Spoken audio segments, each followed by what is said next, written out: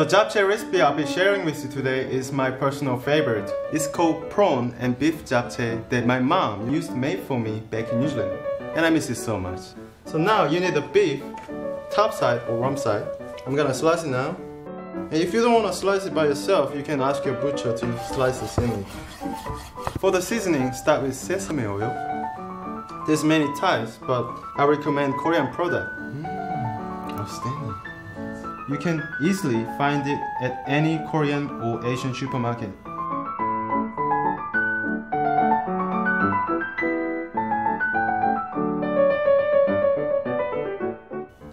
Mix everything nice and evenly.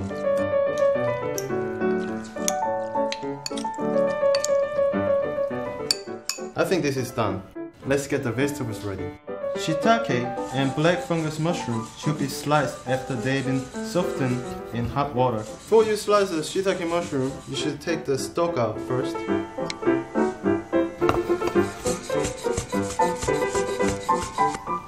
The rest of vegetables should be cut to similar lengths and sizes.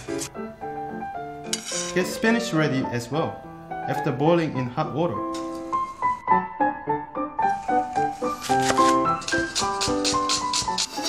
Jap in japchae means mix, while che is from chaeso, the Korean word for vegetables. So true to its name, just about any vegetable can be used in this dish.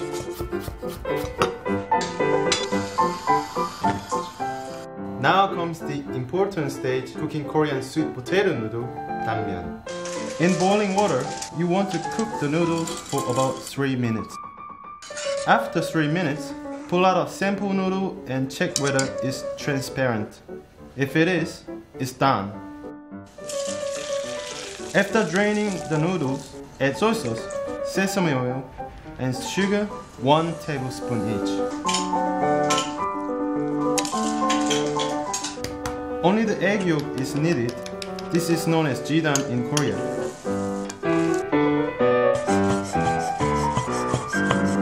Looks nice, doesn't it? Throw in all the pre-cut veggies and fry away.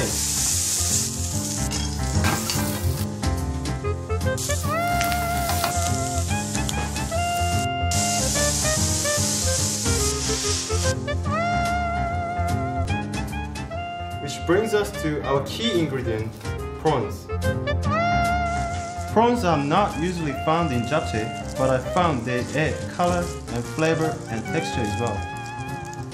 Garnish with jjidan and pine nut and sesame seed. And my mom's signature dish, beef and prawn japchae, is done. Mmm, just like my mom's.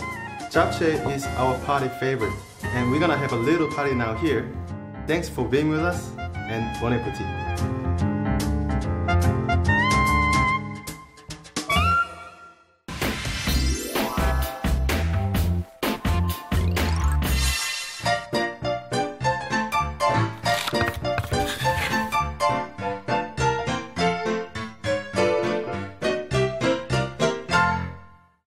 Bulgogi or grilled marinated beef is one of the most popular Korean dishes in the world. Those who know it, love it. My bulgogi recipe slightly differs from others because it's bulgogi salad or beef with vegetables and fruit. So now I'm going to show you how it's made. Make the salad dressing by combining soy sauce, lemon juice, orange juice, sugar, vinegar. Last but not least, for a nice tangy flavor, add some whole grain mustard.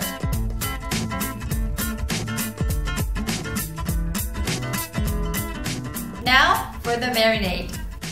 You need water, soy sauce, sugar, chopped green onion, and garlic, plus some sesame oil and pepper. Today I'm going to use white wine, which is an alternative to mirin.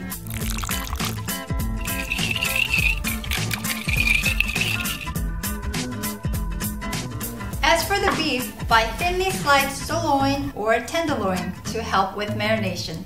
Mix the beef with the marinade. Once marinated, we can stir fry the beef. Be sure to oil the pan first.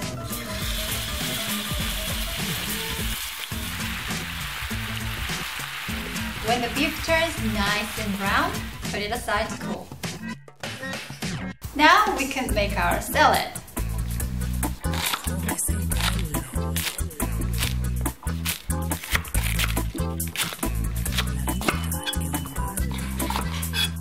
Slice half a red bell pepper and a quarter of an onion. Use a peeler to slice your cucumber into thin strips. Like this. Rinse the vegetables in cold water. Okay, this will enhance the crunchiness. Mmm. Drain and put the vegetables in a bowl. Add olive oil